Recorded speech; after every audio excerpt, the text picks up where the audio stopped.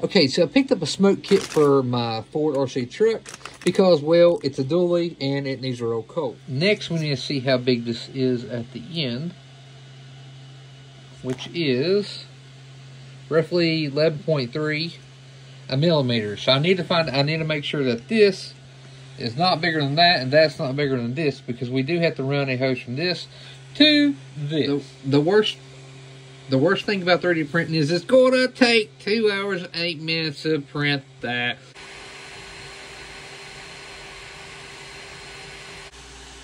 Alright, after two hours later, this is done.